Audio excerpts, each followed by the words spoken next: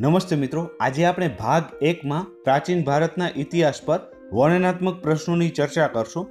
આ પ્રશ્નો ચાર વેદો, ઋગ્વેદ, યજુર્વેદ, સામવેદ અને અથર્વવેદ, આ ચાર વેદો ઉપર આધારિત છે. આ વર્ણનાત્મક પ્રશ્નો દ્વારા આપણે ચાર વેદો વિશેની સંપૂર્ણ માહિતી મેળવશું. તો શરૂઆત કરીએ પહેલા પ્રશ્નથી. પહેલો પ્રશ્ન છે, વેદો કેટલા છે અને કયા કયા? તો વેદો મુખ્યત્વે ચાર છે, જેમાં ઋગ્વેદ, યજુર્વેદ સામવેદ અને અથર્વવેદનો સમાવેશ થાય છે. ચાર વેદોમાં ઋગ્વેદ એ સૌથી પ્રાચીન વેદ છે, જ્યારે અથર્વવેદ એ સૌથી છેલ્લે લખાયેલ વેદ છે. સામવેદને સંગીતની ગંગોત્રી કહેવામાં આવે છે, કારણ કે સામવેદની રચના ઋગ્વેદની ઋચાઓનું ગાન કરવા માટે કરવામાં આવેલ છે અને યજુર્વેદને યજ્ઞનો વેદ કહેવામાં આવે છે, જેમાં યજ્ઞના કર્મકાંડો અને મંત્રોનો ઉલ્લેખ કરવામાં આવેલો છે. બીજો પ્રશ્ન છે, ઋગ્વેદ વિશે જણાવો. ચાર વેદોમાં ઋગ્વેદ એ ભારતનો સૌથી પ્રાચીન વેદ છે, જેમાં દસ ભાગ અથવા તો મંડળો છે અને એક હજાર અઠ્યાવીસ જેટલા સૂક્તો અથવા ઋચાઓ છે. ઋગ્વેદનો રચનાકાળ ઈસવીસન પૂર્વે પંદરસોથી ઈસવીસન પૂર્વે એક હજારનો માનવામાં આવે છે. ઋગ્વેદમાંથી આર્યોની રાજકીય વ્યવસ્થા અને આર્યોના ઇતિહાસ વિશેની ઉપયોગી માહિતી મળે છે. ઋગ્વેદમાં મુખ્યત્વે દસ મંડળો છે જેમાં ત્રીજા મંડળમાં ગાયત્રી મંત્રનો ઉલ્લેખ જોવા મળે છે. ગાયત્રી મંત્ર સૂર્યની સ્તુતિનો મંત્ર છે. ઋગ્વેદના ચોથા મંડળમાં કૃષિ વ્યવસ્થાનો ઉલ્લેખ કરવામાં આવેલો છે. ઋગ્વેદના નવમા મંડળમાં સોમરસનો ઉલ્લેખ છે અને દસમા મંડળમાં ચાર વર્ણ વ્યવસ્થાનો ઉલ્લેખ છે. ઋગ્વેદકાલીન સમાજ વ્યવસ્થા ચાર ભાગોમાં વહેંચાયેલી હતી, જેમાં બ્રાહ્મણ, ક્ષત્રિય, વૈશ્ય અને શૂદ્ર આ ચાર વર્ણોનો સમાવેશ થાય છે. કૌશિતકી અને એત્રે એ ઋગ્વેદના બ્રાહ્મણ ગ્રંથો છે. ઋગ્વેદની ઋચાઓનું ઉચ્ચારણ કરનારને હોતૃ અથવા તો હોતા કહેવામાં આવે છે. ત્રીજો પ્રશ્ન છે, સામવેદ વિશે જણાવો. સામવેદને સંગીતનો વેદ કહેવામાં આવે છે. આ વેદ ઋગ્વેદની ઋચાઓનું ગાન કરવા માટે રચવામાં આવેલ છે. તેમાં છંદોની ગાન કરવાની વિધિ દર્શાવવામાં આવેલી છે. સામવેદ પ્રાચીન ભારતની ગાયન વિદ્યાનું શ્રેષ્ઠ ઉદાહરણ છે. આથી સામવેદને સંગીતની ગંગોત્રી કહેવામાં આવે છે. સારે ગામા પધનિશા સંગીતના આ સાત મહત્વના સ્વરોનું વર્ણન સામવેદમાં કરવામાં આવેલું છે. સામવેદ ગાનારને ઉદગાતા કહેવામાં આવે છે. ગંધર્વ વેદ એ સામવેદનો ઉપવેદ છે. જેમિનીય, તાંડવ અને પંચવીસ એ સામવેદના બ્રાહ્મણ ગ્રંથો છે. ચોથો પ્રશ્ન છે અથર્વવેદ વિશે જણાવો. વેદોમાં ઋગ્વેદ એ સૌથી પ્રાચીન વેદ છે અને અથર્વવેદ એ સૌથી છેલ્લે રચાયેલ વેદ છે. અથર્વવેદમાં રોગ નિવારણ, મંત્રતંત્ર જાદુટોળા વશીકરણ, ભૂત પ્રેતના મંત્રો, કર્મકાંડો અને સંસ્કારોનું વર્ણન કરવામાં આવેલું છે. અથર્વવેદમાં વીસ અધ્યાય, સાતસો એકત્રીસ સૂક્તો અને છ હજાર જેટલા મંત્રો છે. અથર્વવેદને બ્રહ્મવેદ તરીકે પણ ઓળખવામાં આવે છે. અથર્વવેદમાં નવાણું પ્રકારના રોગના નિવારણના ઉપદેશો આપવામાં આવેલા છે. શિલ્પવેદ એ અથર્વવેદનો ઉપવેદ છે. અથર્વવેદમાં સભા અને સમિતિને પ્રજાપતિની બે પુત્રીઓ તરીકે વર્ણવવામાં આવેલી છે. આ વેદને જાણનારને બ્રહ્મ અથવા તો બ્રહ્મજ્ઞાની કહેવામાં આવે છે. ગોપથ એ અથર્વવેદનો બ્રાહ્મણ ગ્રંથ છે.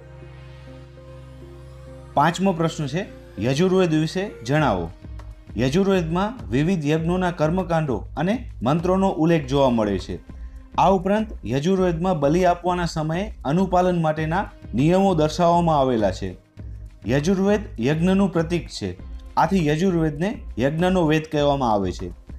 યજુર્વેદના મુખ્યત્વે બે ભાગ છે અથવા બે શાખાઓ છે, જેમાં શુક્લ યજુર્વેદ અને કૃષ્ણ યજુર્વેદનો સમાવેશ થાય છે. યજુર્વેદ જાણનારને અધવર્યું કહેવામાં આવે છે. યજુર્વેદ એ પદ્ય અને ગદ્ય સ્વરૂપે લખાયેલ ગ્રંથ છે. ધનુર્વેદ એ યજુર્વેદનો ઉપવેદ છે. યજુર્વેદમાં કુલ ચાલીસ અધ્યાયો અને બે હજાર જેટલા મંત્રો આપેલા છે. છઠ્ઠો પ્રશ્ન છે, વેદોના ઉપવેદો જણાવો. પેલું છે યજુર્વેદ. તો યજુર્વેદનો ઉપવેદ છે ધનુર્વેદ. બીજું છે સામવેદ. તો ગંધર્વવેદ એ સામવેદનો ઉપવેદ છે. અને ત્રીજું છે અથર્વવેદ. તો અથર્વવેદનો ઉપવેદ શિલ્પવેદ છે. સાતમો પ્રશ્ન છે ચાર વેદોના બ્રાહ્મણ ગ્રંથો જણાવો. તો કૌશિતકી અને એત્રે એ ઋગ્વેદના બ્રાહ્મણ ગ્રંથો છે. તૈતરીય અને સતપથ એ યજુર્વેદના બ્રાહ્મણ ગ્રંથો છે. પંચવીસ જૈમિની અને તાંડવ આ ત્રણેય બ્રાહ્મણ ગ્રંથો સામવેદના છે અને ગોપથ એ અથર્વવેદનો બ્રાહ્મણ ગ્રંથ છે. આઠમો પ્રશ્ન છે, નીચેના જોડકા જોડો. અહીં વેદો અને બ્રાહ્મણ ગ્રંથો આપેલા છે. પહેલું છે, ઋગ્વેદ. તો કૌશિતકી અને એત્રે એ ઋગ્વેદના બ્રાહ્મણ ગ્રંથો છે. આથી પહેલામાં આવશે સી, કૌશિતકી અને એત્રે બીજું છે, યજુર્વેદ. તો તૈતરીય અને સતપથ એ યજુર્વેદના બ્રાહ્મણ ગ્રંથો છે. આથી બીજામાં આવશે ડી તૈતરીય અને સતપથ. ત્રીજું છે સામવેદ. તો પંચવીસ, જૈમિની અને તાંડવ એ સામવેદના બ્રાહ્મણ ગ્રંથો છે. આથી ત્રીજામાં આવશે એ, પંચવીસ, જૈમિની અને તાંડવ. અને ચોથો છે અથર્વવેદ. તો ગોપથ એ અથર્વવેદનો બ્રાહ્મણ ગ્રંથ છે. આથી ચોથામાં આવશે બી, ગોપથ. નવમો પ્રશ્ન છે, નીચેના જોડકા જોડો, વેદો અને ઉપવેદ. પહેલું છે યજુર્વેદ. તો યજુર્વેદનો ઉપવેદ ધનુર્વેદ છે. આથી પહેલામાં આવશે સી, ધનુર્વેદ. બીજું છે સામવેદ. તો સામવેદનો ઉપવેદ ગંધર્વવેદ છે. આથી બીજામાં આવશે એ, ગંધર્વવેદ. અને ત્રીજું છે અથર્વવેદ. તો અથર્વવેદનો ઉપવેદ છે શિલ્પવેદ. આથી ત્રીજામાં આવશે બી, શિલ્પવેદ. દસમો પ્રશ્ન છે, નીચેના જોડકા જોડો. પહેલું છે, ઋગ્વેદ. તો ઋગ્વેદ એ સૌથી પ્રાચીન વેદ છે. આથી પહેલામાં આવશે બી, પ્રાચીન વેદ. બીજું છે, યજુર્વેદ. તો યજુર્વેદને યજ્ઞનો વેદ કહેવામાં આવે છે. આથી પહેલામાં બીજામાં આવશે સી, યજ્ઞનો વેદ. ત્રીજું છે, સામવેદ.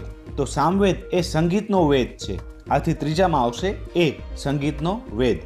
અને ચોથું છે, અથર્વવેદ. તો અથર્વવેદ એ કર્મકાંડનો વેદ છે. આથી ચોથામાં આવશે ડી, કર્મકાંડનો વેદ.